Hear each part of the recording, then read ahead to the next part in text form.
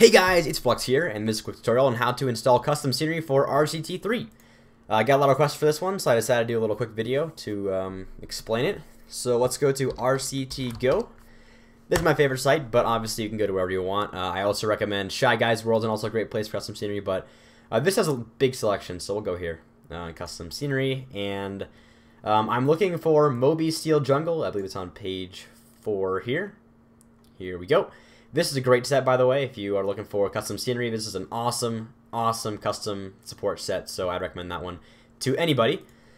So we'll go here to show, and here is our thing in the downloads folder. We'll copy it and paste it onto our desktop right here. And from there we can open it up with WinRAR. I'm using WinRAR for this by the way. Um, WinRAR is an archiver thing, so you can open up things, these zip folders here. If you don't have WinRAR or 7-Zip, I would recommend getting one of them. I'll link that in the description as well as RCT Go if you need to find either of those two things. They're both obviously, well, free. I mean, obviously the website is, but um, they're both free. So uh, download those before you do this. It's um, makes it easier. Actually, I don't even know if you can do this without WinRAR. Anyway, um, now we have this folder here. This is the um, the proper one anyway. Usually they only have one. This one looks like it has like a Mac OS version, I think. Um, but here's the original one, so I'm going to grab this one and drag it on out here. This is very important. If you try and just drag the zip folder in there, it'll mess it up. So I recommend pulling it out first. Let's delete this thing now.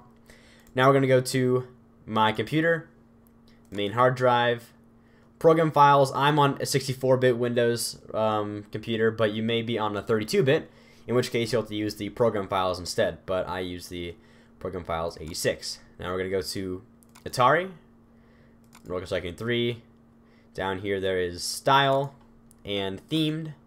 And this is it. This is the folder that holds all of your custom scenery. So you're going to want to open this thing up and grab your custom scenery. I already have this one installed, so I'm not going to drag it in here, but you would just drag it right on into this area here. And that will work. So now let's go over to the actual game, and I'll show you guys what it looks like in-game.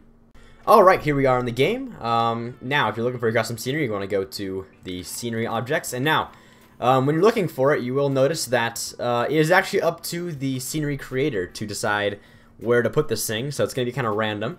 I can tell you from experience that it's usually in the walls section or the scenery item section, although sometimes it'll be in like trees or fences if it's something weird like foliage or something. Um, but uh, for, in our case, it is in the walls section. Now, if you're looking in the scenery item section, it is usually a good idea to uncheck everything except for generic because usually uh, everything is under generic, although I could be wrong. Sometimes there's some weird sets that are in like adventure or something, but usually they're in generic. So you can see right now I already got custom scenery installed here. We're gonna scroll on down to our um, Moby Steel Jungle. I actually have all three versions here, but this is basically it. You can see right here I got one of these pieces. I'm gonna grab one of these and show you guys real quick. For those of you not familiar, custom scenery is awesome because it actually does no clip, so you can place it, you know, anywhere you want, and you can also place it on places like right directly on top of um, things like roads and basically anywhere. It'll let you place it wherever you want inside like entrances and even back in places you don't even own, although you can't put it back here, but you can place it on these little areas too. Although I will warn you, if you place it here, it's kind of hard to delete them sometimes. Um, looks like that one worked fine. But if you place things like uh, path covers in these back areas, they are a bit hard to delete for some reason. And when you do it, it'll tell you you're like off the land or something. So be careful of that. But other than that, these things are great for basically anything, um, especially supports and stuff. But um, yeah, that's it. So hope you guys enjoyed this one. Leave your comments down below for any more tutorials you need for Tycoon 3 or anything else. I'm trying to kind of stock my channel up with tutorial videos, so um, yeah, leave your comments down below. And as always, thanks for watching, and we'll see you next time.